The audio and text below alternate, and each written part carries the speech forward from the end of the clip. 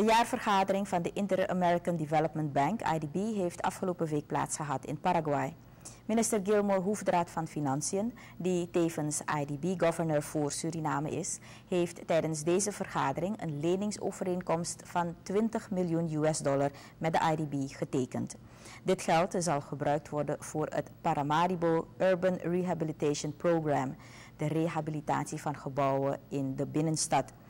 Minister Hoefdraad heeft ook een ontmoeting gehad met de Braziliaanse minister van Planning, Diogo de Oliveira.